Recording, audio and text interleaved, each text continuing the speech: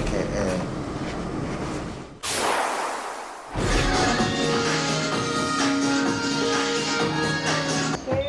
쭉. 어, 하나, 둘.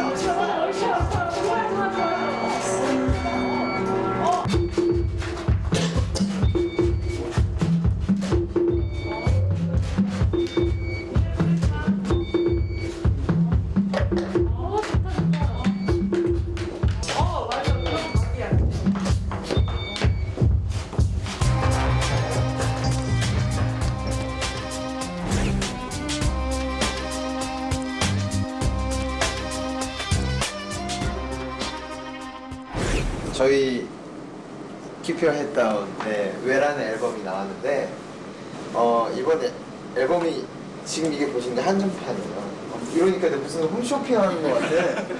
제가 제일 마음에 들어 하는 사진은요. 네, 저는 개인적으로 좀 이렇게 잘생기고 멋있는 사진보다는 약간 심오한 사진을 좋아하는데요 이게 이제, 이게 이제 화장을 지우는 모습이에요. 그러니까 제가 진짜 아티스트나 이제 가수분들이나 배우분들이 다 모두들 이제 끝날 때 이제 본연의 모습으로 돌아가잖아요.